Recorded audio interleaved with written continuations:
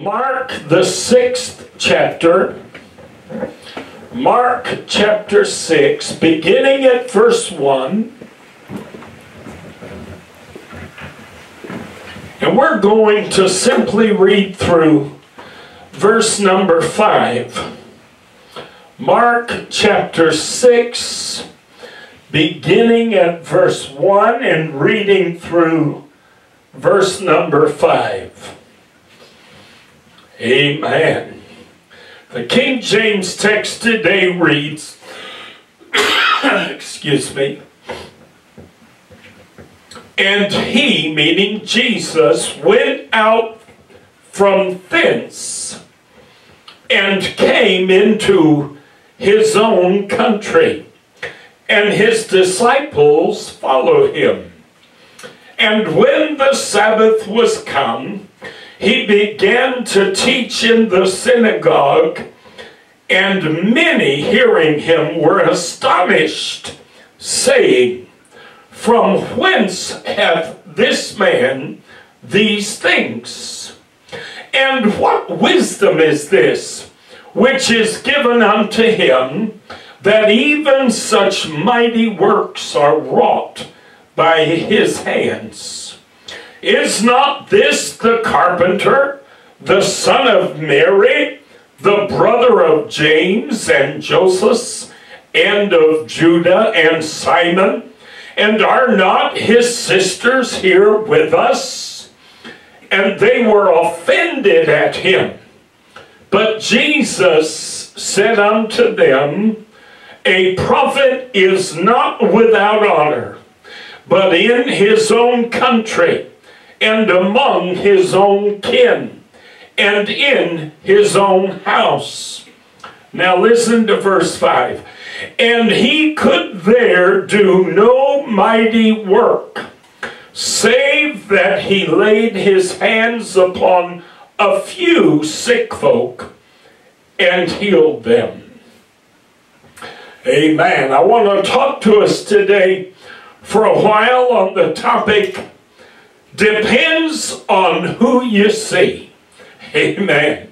Depends on who you see. Let's go to the Lord one time in prayer. Master, once again, oh God, we come before the throne of grace boldly as the word of the Lord declares it's our privilege as children of God. Master, we love you. We thank you, Lord, for that promise that one day there will be no need for light in that city, for the Lamb shall be the light thereof. Master, in the name of Jesus, anoint today, O God, your messenger. Anoint today my feeble lips that would try to do the word of God justice, that would try, O God, to be faithful in that sacred task of bringing a word of encouragement, a word of hope, a word of help, and healing and salvation to the hearer. Lord, I can't do it alone, never could, never have wanted to try. But I need the anointing of the Holy Ghost. Touch my body, touch my mind, touch my lips this hour that I might deliver this message, O oh God, that I know you've laid on my heart for the people of God. Help me to deliver it in a manner that will bring glory and honor to your name. And Lord, in a manner that will permit it not only to be heard in the hearing, but Lord, in a manner that will permeate every obstacle and every obstruction in our life until it reaches the heart and causes us, oh God, to lay hold of the truth that I'm about to articulate, that we might be recipients of the blessing and the miracles that you have in store for us. For we ask it all in none other than Jesus' wonderful name. Amen. Praise God and amen. I am having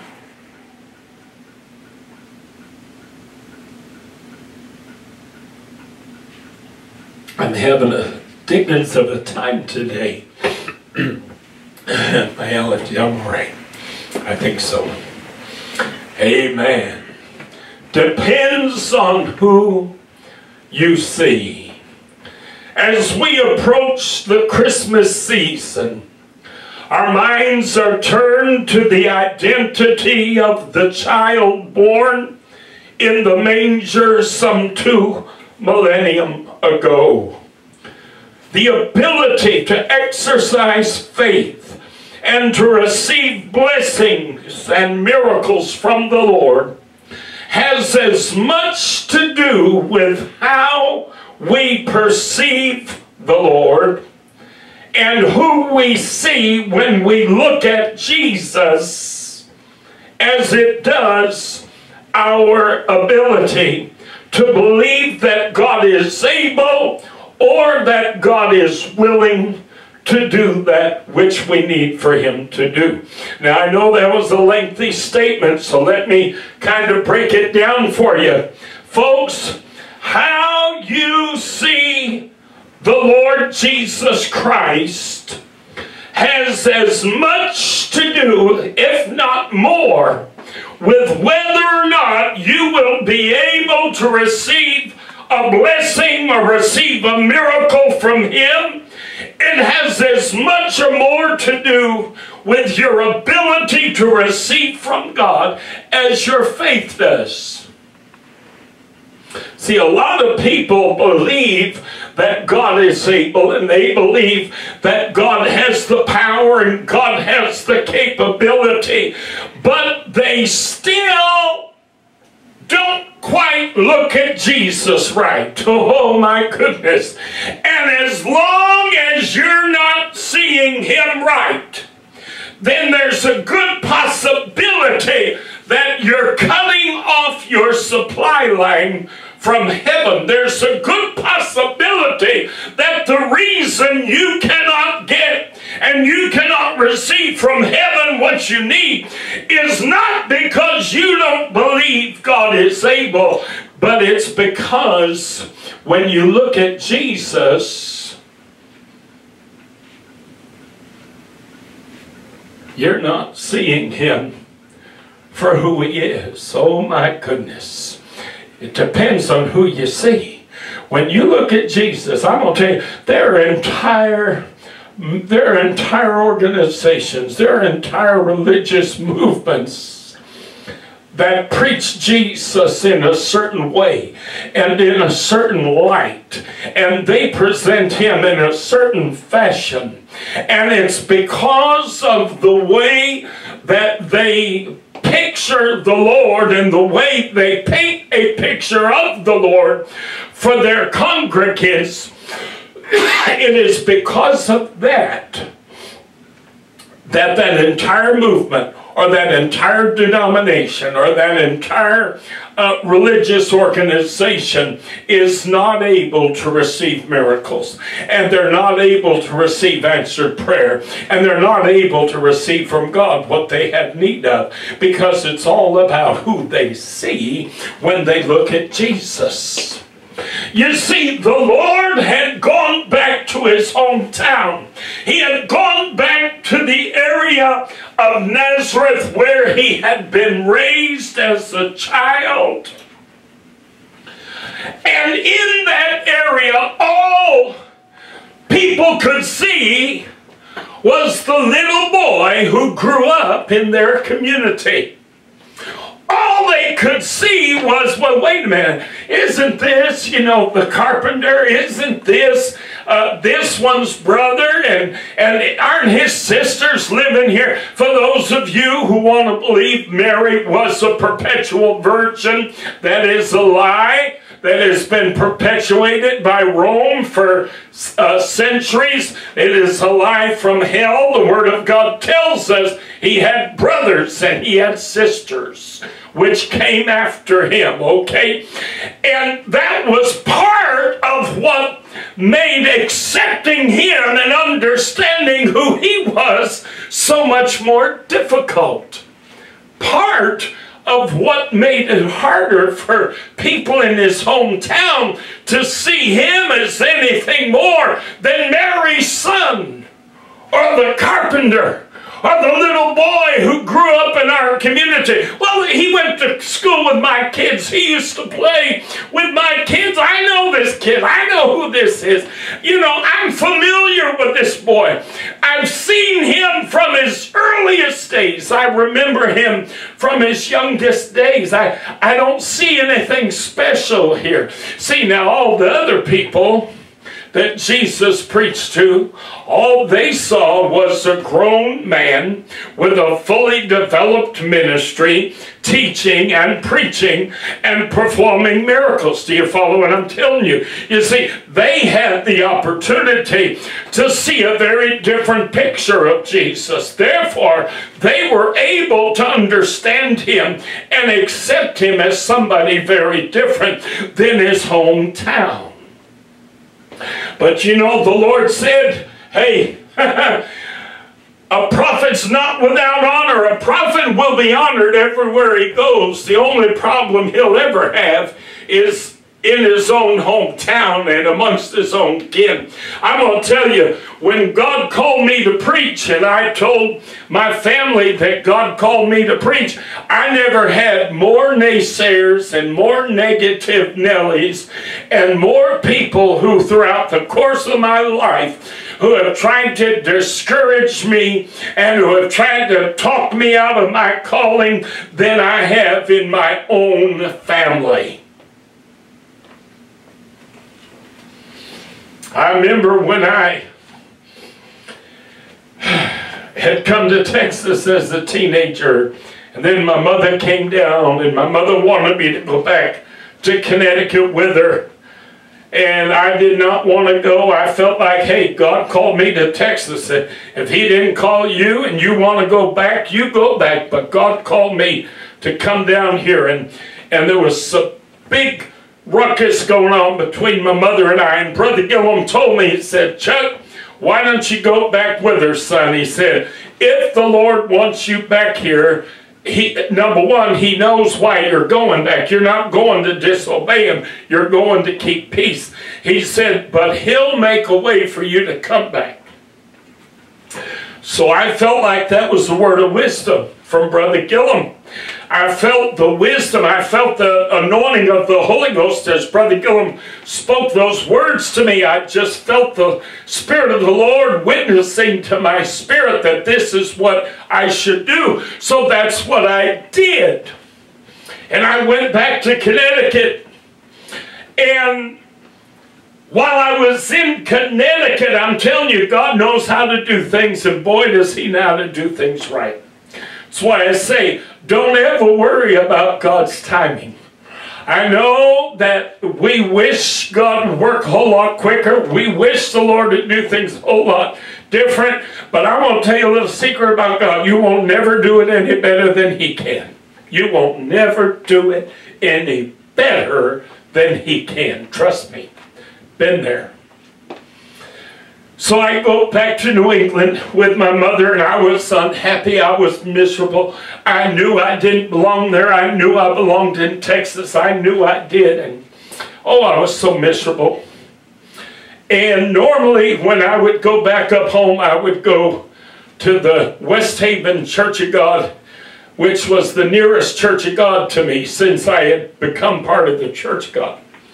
But the Assembly of God that I grew up in was a lot closer and I didn't have a car of my own at the time so I couldn't drive to West Haven too readily so instead I went to church with my mother to the church I grew up in.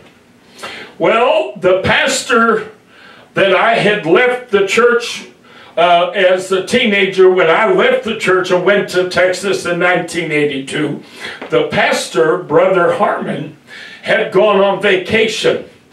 And he was going to be gone for a full week, week and a half. And a man who grew up in the same church I did, a man who was born and raised in the same church I was born and raised in. He had, matter of fact, he was my mother's age. He was in my mother's uh, age bracket. She had grown up with him, known him her whole life. Everybody in my family, all my aunts, all my uncles, my grandmother, everybody knew this man, his name was Nori. Everybody knew Nori Kogel. Well, guess what? While the pastor was on vacation, Nori was going to come and preach in his stead. Well, they had not seen Nori in literally 15 years because here I am now, 16 years old. And when he left the church to go out on his own ministry and what have you, uh, I was under a year old. That's the last time he saw me. I was just a baby. And so everybody in my family was excited. They were thrilled. Oh, Nori Kogel's coming to preach for us. How exciting, how exciting. Everybody loved Nori. Everybody thought the world of Nori. And this man comes in. I don't know him from Jack the Ripper. I was less than a year old when he left our church, and literally he has not been back, not one time in all these years. Well, let me tell you, everybody in my family packed that church so they could hear Nori Kogel preach because after all, this was somebody they knew, this was somebody they loved, this was somebody they admired. Nori was preaching. I think, if I remember correctly, he preached on Sunday morning. And then Sunday night, I think is when it happened. I was sitting in my favorite little spot, second pew back. I like to sit right up front. I don't like sitting in the back. I like to sit right up front where the action is. I was sitting in the second pew back as you walk down the center aisle of the church on the left-hand side, and I'm sitting in the second pew. I'm on the inside aisle, right there on the inside aisle, right, right in clear shot of the pulpit. Well, Nori's like me. He don't preach behind the pulpit. He gets out, you know, and he walks around and he's walking across where the altars are and he's walking across the platform. And as he's preaching, he's walking up the center aisle of the church. And there were times when he would literally walk past me, you know, and I'd be sitting there looking down at my Bible, reading while he's talking, you know, and all that. I didn't bother turning quick in my head to see him, you know. All of a sudden, all I know is I later found out that he had a mic with a wire. He took the mic and he put it under his arm like this and he swung around on his heels and he plastered his hands on my forehead and that man began to prophesy and he began to, to prophesy and and there were three elements of his proper of his prophecy that were exactly what I had been telling my family for years concerning my call to preach. Oh, the Lord said, I've called you to preach. I've called you to a prophetic office. You're going to preach things that are going to make people mad. People are going to look at him and say, he's insane. He's crazy. That's when Nori prophesied that people are going to call me crazy. He started his prophecy out with the first part of the first chapter of the book of Jeremiah. Before I formed thee in thy mother's womb, I called thee and anointed thee a prophet, and on and on and on. The first several verses of Jeremiah. Uh, chapter 1. And I used to run to my mother and my grandmother. I'd say, I was praying the other day and I was telling Lord I couldn't understand how he could call me because I never felt, ever felt like I was anybody that God should be calling or would call. But one day I was praying and talking to the Lord. And I told you, you just tell the Lord, and sometimes He'll say, Open the book. And I opened my Bible and I cast down my eyes and I began to read, and it was the first few verses of Jeremiah where he said, Say not that I am a child, for I've put my words in your mouth. And you know, and and I'd gone to my grandmother, my mother, I'd shared this with different people in the family. And of course, most of them went, uh-huh. All of a sudden, Nori Kogel's prophesying over me, and he literally began the prophecy with that exact passage of Scripture. He literally quoted about the first five or six verses of that chapter. That's how the prophecy began. And then I told my family, I said, God told me that I was going to have a prophetic ministry. And I really, as a kid, when the Lord told me that, I didn't know what prophetic meant. You know, growing up in a Pentecostal church, I, I, really, and it was so funny. I was telling Tommy the other day, when I was a kid in church, I used to get up to testify, and the Holy Ghost would anoint me, and I would begin to preach. And I'm literally 8, 10, 11, 12, 13 years old. And the Holy Ghost would, and I'd start preaching just preaching and preaching. And I mean preaching, honey. And even my uncle, David, my Aunt Laurel's husband, said to my mother one time, he said, you do realize that when Chuck's doing that, that the Holy Ghost has anointed him and he's prophesying, don't you? And my mother said, uh-huh. But I didn't understand what prophetic ministry was. You know, I didn't understand exactly. So when I don't understand something, I ask the Lord for clarification. So I said, okay, Lord. I said, well, if you've called me to prophetic ministry, then where in the Bible is there somebody who has a ministry that is or was prophetic so that I can kind of get a sense of what prophetic means, you know. And he said, You will have a ministry like that of John the Baptist. Well, when he told me that, I began to study everything I could lay my hands on about John the Baptist. And what I found out about John the Baptist was he was one of the most hated and one of the most liked.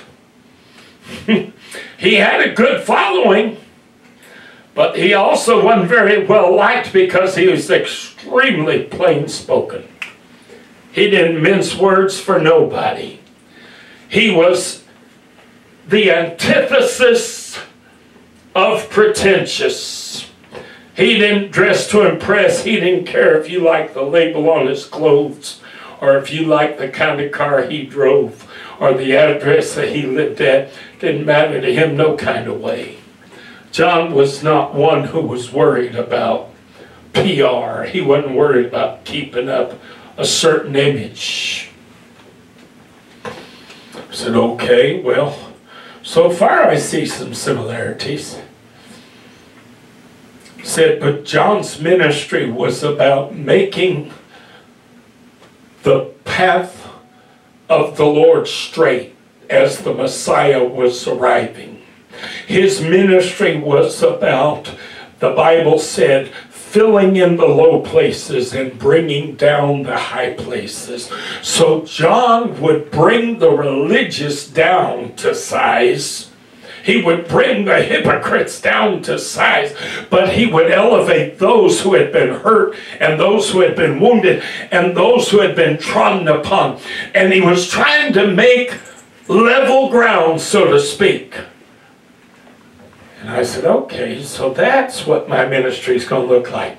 So the Lord used the first chapter of Jeremiah he said I'd have a prophetic ministry. He said my ministry would be like that of John the Baptist. All of a sudden, Nori Kogel's prophesying over me. He starts out with the first several verses of Jeremiah 1. Then he moves into, I've called you to a prophetic ministry. I've called you to declare, thus saith the Lord. I've called you to say what I put in your mouth to say and not to care about the reaction or the response of your audience because that's not your job. Your job is to declare, Thus saith the Lord. And then he goes into, just like John the Baptist. And he goes into this big long diatribe about how my ministry was like that of John the Baptist. After church, my family was every aunt, every uncle, every cousin I had was in that building. And God confirmed my calling through a man who didn't know me from Jack the Ripper, but a man that they loved and they respected and they admired. Had I not gone back to Connecticut as I did, that would have never happened. But see, God took something that the enemy meant for evil and he turned it to good. And then, long story short, he opened up a, a job for me to do a painting job for a lady. I made the money I needed and I was able to go right back to Texas. That night after church, I got in the car and my mother was sitting there. And she said, You're going back to Texas if I've got to pay your way myself. because all of a sudden she realized that this 16 year old son of hers, oh, thank you, Jesus. When I said God called me to Texas, I wasn't kidding. God, and I knew God had called me to Texas, and I knew that's where I was supposed to be. And she and I had fought over it for weeks, you know, before coming back from Texas. So my mother said, You're going back if I have to pay for your way myself. And she didn't have to because the Lord made a way for me to go. The point is this the Lord said, that your biggest enemies are not enemies, but your biggest detractors, shall I say, are going to be those of your own household and your own community. I remember when God called me to preach, I mean, excuse me, when God spoke to me to start my first church. I grew up in a real small community in southern New England. I grew up in a tiny little town that was nestled in the heart of a valley, and there were just towns north of us and towns south of us. Every single town to the north and the south was 10 times bigger than we were. We were just this little nut in the middle of all this, you know. And you drive up the road alongside of the river, the foot of the valley. Literally, I mean, this, this is how I grew up. Very Norman Rockwell you drive along the river on the highway, you know, and you went right through our town, didn't even know you'd been there.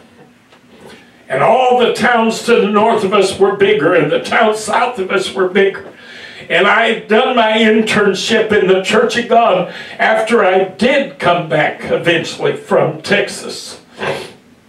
I did my internship at the West Haven Church of God under Brother Douglas Carver. And uh, the Lord laid on my heart to start a church in the valley. And I said, Lord, the valley? I grew up here. I grew up in the valley. I grew up here. I said, Oh my God, have mercy. Aren't you aware that the Bible said that a prophet is not without honor except in his own country and so on and so forth? But I'm telling you, God is, it's amazing how the Lord works sometimes. Because my reputation as a kid growing up helped me. The Catholic man who used to cut my hair as a kid said to me one day, he said, Chuck, I used to cut your hair. He said, All you ever talked about was God. All you ever talked about was preaching. All you ever talked about is this is what God called you to do. He said, Son, I, it said, I know you. Everybody knew me. When I started my first church and I went around the community as time went on over the over the months, I'd bump into people that I knew from the church I grew up in or from, you know, and I was never interested in proselyting anybody. Matter of fact, I had a couple of people in my church from the church I grew up in.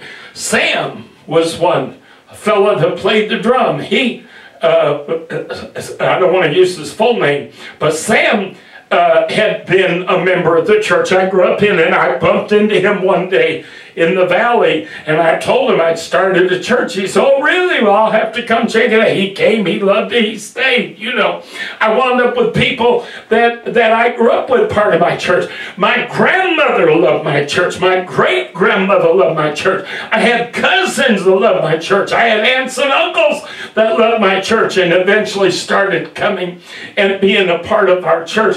So, really, things shocked me the way things played out, you know, in my first church. But the point I'm trying to make is it's all about how people see you. Part of the reason that I was so successful, even though I was in my own backyard, so to speak, is because people knew me. And they all this kid's ever talked about is preaching. All this kid's ever talked about is God. All this kid's ever talked about is the church. This is the direction he'd been going in his whole life. So nobody was surprised. My nickname in high school was Rev. Kids used to come to me for counseling and, and, and when they had emergency situations when I was in high school. You know, they knew my reputation. But now here's Jesus. He grew up with my kids. He played with my kids. You know, he grew up in this community. There ain't nothing special about him. What's so special about yeah, How is it that I've heard in some of these other places he's done such miracles and he's done such wonderful things. I don't understand it because I know the kid. He's nothing special. Well, I'm going to tell you folks how you see the Lord Jesus Christ has a lot to do with whether or not your faith is going to pay off for you in your life and in your walk with Him. The biggest mistake one can make is thinking that they know who Jesus is. Especially those who reduce him to nothing more than the man next door. See, Satan loves groups like Jehovah's Witness. He loves them. They're on his payroll, honey. You know why? Because they'll tell you, oh, he's just a man like every other man. He just created being like every other created being. Ain't nothing special about him. Boom! Guess what? You ain't never going to get nothing from God. You are never going to experience a miracle. You're never going to see a miracle. You're never going to know a miracle. Why? Because you don't believe that God is big and God is able. No, it's because of how you look at Jesus. Because how, how, who, how you see him and who you see when you look at him plays a very important role in whether or not you're going to receive from God. A very important role. I have a book that I've read a few times over the past 40 years, written by a former Jehovah's Witness man. He and his wife had a child who was uh, born with a club foot or something to that effect, a deformed leg, you know. They made a mistake. They were reading their Bible, and instead of letting the Watchtower Bible Society tell them what everything meant and what everything was supposed to mean, they read a passage where Jesus said, Ask anything in my name, he said, and I will do, I will do it for you. The man said, well, we wanted our child healed so bad. We wanted our child normal so bad. Said that my wife and I were talking and we said, well, why don't we try it? Why don't we go ahead and do it. So they prayed and they asked God to heal their child's leg in Jesus' name. And literally, literally, I think it was the next day or something, he said that his wife and he were sitting in the living room and the kid was there on the floor and all of a sudden they looked down and they realized, oh my God, they looked at his leg. The kid's leg was normal, completely normal. They went to their local watchtower. They were so excited. Oh my God, you're not going to believe this. They went to the fellowship hall. Oh, God, to tell you what God did. and boy, they were set down and told to shut up. We don't believe that. God don't do that. That's not how things work. And they were in a they were in a conundrum because they said, "But wait a minute, wait a minute, but but but that's what the Bible says." Yeah, but that's not what we tell you the Bible says. I want to tell you, there's a lot of people out there losing out with God. There are a lot of people. I'm going to tell you, if you think the message, the church you preach it, that you attend preaches, if you think the message in that church doesn't affect your walk with God and whether or not you can walk in blessing and walk in favor and experience miracles, honey, you are wrong. Their message has everything, everything to do with whether or not you'll be in a position. Because they're going to help formulate who you see when you look at Jesus. And it all depends on who you see. Glory to God, amen. Matthew chapter 13, verses 54 through 58. Again, the word of God said, And when he, Jesus, was come into his own country, he taught them in their synagogue, insomuch that they were astonished and said, Whence come, whence hath this man this wisdom and these mighty works? Is not this the carpenter's son? Is not his mother called Mary, and his brethren James and Joseph and Simon and Judas, and his sisters? Are they not all with us? Whence then hath this man all these things? And they were offended in him. But Jesus said unto them, A prophet is not without honor, save in his own country and in his own house. Again, the word of the Lord said, verse 58, And he did not many mighty works there because of their unbelief. What was their unbelief founded in? What caused their unbelief? How they saw Jesus, who they saw when they looked at this man they called Jesus. I'll tell you how you define Jesus and who you see when you look at Jesus makes all the difference in the world, folks, as to whether or not you'll ever have the faith to lay hold of a miracle or to receive what you need from the Lord in Matthew 17, verses 14 through 20. And when they were come to the multitude, there came to him a certain man, kneeling down to him and saying, Lord, have mercy on my son, for he is a lunatic and sore vexed. For oft times he falleth into the fire, and oft into the water, and I brought him to thy disciples, and they could not cure him.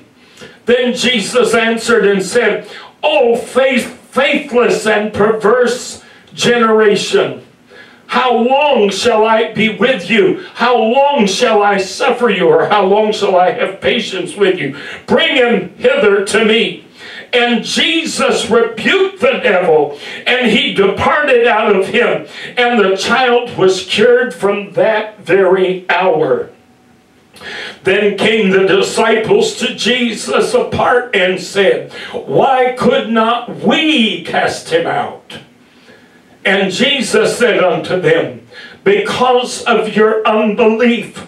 For verily I say unto you, if ye have faith as a grain of mustard seed, Ye shall say unto this mountain, Remove hence to yonder place, and it shall remove, and nothing shall be impossible to you. If all it takes is faith as the grain of a mustard seed to move a mountain, folks,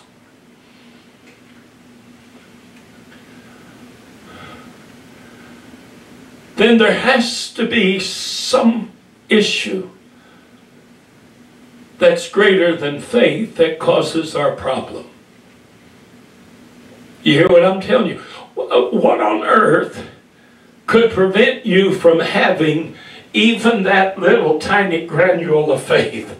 That's all you need, the Lord said. To move them out, all you need is that little. So something has to be powerful enough. Jesus could not, the Word of God said, he could not perform any great miracles in his hometown. He couldn't do things in the area he grew up in. Why? Because of their unbelief. What was their unbelief founded in? It was all anchored in how they saw him. Do you know what prevents 99.9% of people who call themselves Christians from receiving the miracle and the blessing and the healing and the deliverance and the salvation that they need from God. Do you know what prevents them? It's lack of faith because when there's no faith, God cannot do. See, you notice the Word of God said the Lord could there do no, no great work. He couldn't do anything. Why? His hands were tied. Why? Because of their unbelief. But what was the cause of their unbelief? How they saw Him. Who they saw Him as. Oh, children, I'm here to tell you, it depends on who you see today. In Matthew 14, 24 through 31, but the ship was now in the midst of the sea tossed with waves, for the wind was contrary. And in the fourth watch of the night, Jesus went unto them walking on the sea. And when the disciples saw him walking on the sea, they were troubled, saying, It is a spirit. And they cried out for fear. But straightway Jesus spake unto them, saying, Be of good cheer, it is I be not afraid. And Peter answered him and said, Lord, if it be thou, bid me come unto thee on the water. And he said, Come. And when Peter was come down out of the ship, he walked on the water to go to Jesus.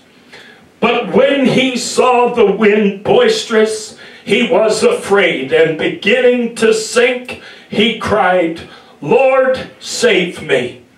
And immediately Jesus stretched forth his hand and caught him and said unto him, O thou of little faith, wherefore didst thou doubt? Pastor, why are you sharing these passages? You've talked about these recently. I'm trying to help you understand.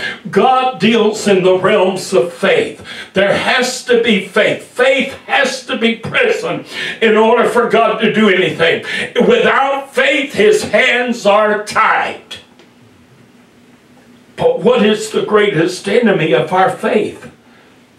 Who we see when we look at Jesus.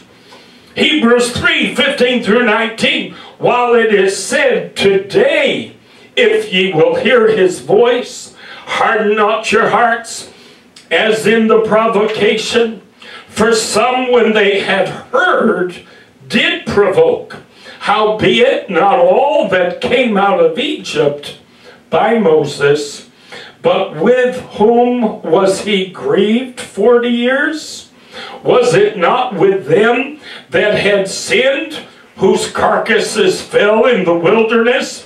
And to whom sware he that they should not enter into his rest, but to them that believed not?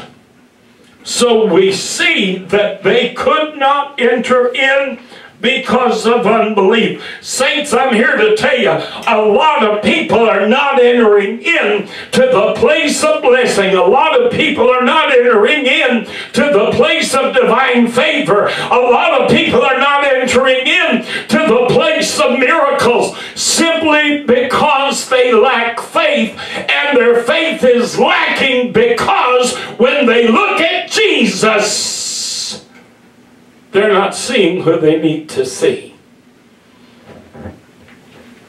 Because it all depends on who you see.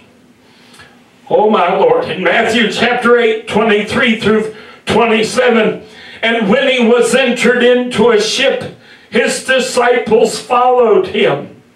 And behold, there arose a great tempest in the sea, insomuch that the ship was covered with the waves, but he was asleep.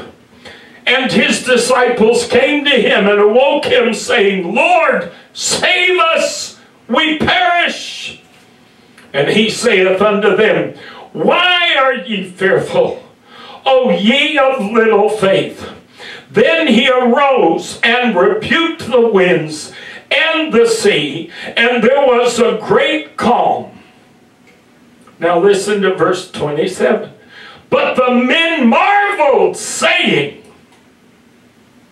What manner of man is this? Whew! That even the winds and the sea obey him. Oh my God. We've seen him heal the leper. We've seen him open blind eyes. We've seen him unstop deaf ears. We've seen him cast out devils. We've seen him call Lazarus out of the grave. But all of a sudden now, in this circumstance, we're standing here looking at each other asking the question, what manner of man is this? My. It's all about who you see when you see him. Hallelujah! Why did they not have any faith? Why were they so fearful? Because of how they saw him. My Lord, have mercy. Oh, children, I hope you're getting what I'm talking about today.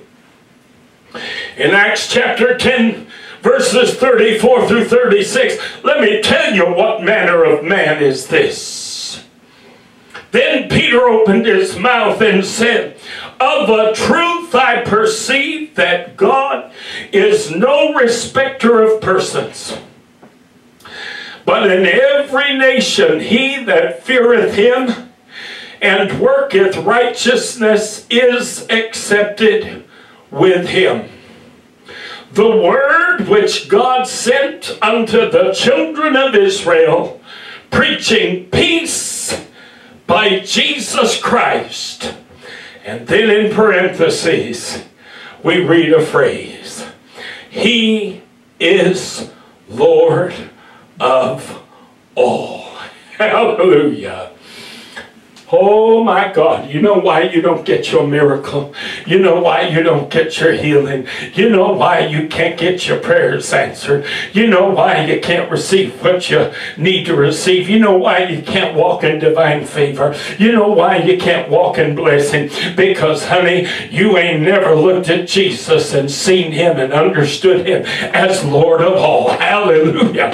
Oh, glory to God. When you understand he's Lord of all, you understand understand that's why he can cast out devils. That's why he can heal the blind and deliver the deaf. That's why he can call Lazarus out of the tomb. And that's why he can calm the raging sea with the sound of his voice. Because he's not Lord of one issue or one issue or another issue or that issue. He is Lord of all. He's in control of all of it. Hallelujah. All of your circumstance. Situation, all of your trouble and tribulation and trial answers to Him. He is Lord of all. And when you learn to look at Him and see Him as Lord of all, all of a sudden you'll find that your prayers start getting answered. Hallelujah. Hallelujah. Oh, praise the name of the Lord. James chapter 2 and 1. My brethren, have not the faith of our Lord Jesus Christ, listen, the Lord of glory, with respect of persons. James says, Our Lord Jesus Christ, He is the Lord of glory. Hallelujah. Oh my God. In 1 Corinthians chapter 2, verses 6 through 8. Howbeit we speak wisdom among them that are perfect or mature, grown, established. Yet not the wisdom of this world, nor of the princes of this world that come to naught. But we speak the wisdom of God in a mystery, even the hidden wisdom, which God ordained before the world unto our glory. Listen to what Paul writes in verse 8, 1 Corinthians 2. Which none of the princes of this world knew. For had they known it, they would not have crucified the Lord of glory. Oh, hallelujah. oh, who you see when you look at Jesus makes all the difference in the world. Psalm 24, 7 through 10, Lift up your heads, O ye gates, and be ye lift up, ye everlasting doors, and the King of glory shall come in. Who is this King of glory? The Lord strong and mighty, the Lord mighty in battle. Lift up your heads, O ye gates, even lift them up, ye everlasting doors, and see King of glory, excuse me, and the King of glory shall come in. Who is the King of glory? The Lord of hosts he is the King of glory. Hallelujah. Isaiah 35, 4 through 6. Say to them that are of a fearful heart, Be strong, fear not. Behold, your God will come with vengeance. Even God with a recompense or with repayment. He will come and save you. Then the eyes of the blind shall be opened, and the ears of the deaf shall be unstopped. Then shall the lame man leap as an hart, and the tongue of the dumb sing. Oh, my Lord, have mercy. When did the prophet say all these things were going to happen? When their God showed up. Hallelujah. Oh, I'm going to tell you, it depends on who you see. When you look at Jesus, if all you see is a man, if all you see is the creation of God, if all you see is the second person of the Holy Trinity, folks, I grew up in that. I'll tell you something, that lessens Jesus. That makes him number two out of three. That makes him subservient to God, it distracts and takes away from the fact that according to Isaiah, his name shall be called Wonderful Counselor, the Mighty God, the Everlasting Father, the Prince of Peace. He don't have to ask Daddy to do nothing. He does it for himself. Hallelujah. He actually gave it away when he was speaking to his disciples at one point. He said, you haven't asked anything in my name up to this point he said, but from here on out, if you ask anything in my name, he said, the Father will do it that he might be glorified through the Son. Then he goes on and he said, ask anything in my name. And then he slips and he says, and I will do it for you. Oh, hallelujah. hallelujah. Depends on who you see. Oh, I'm going to tell you.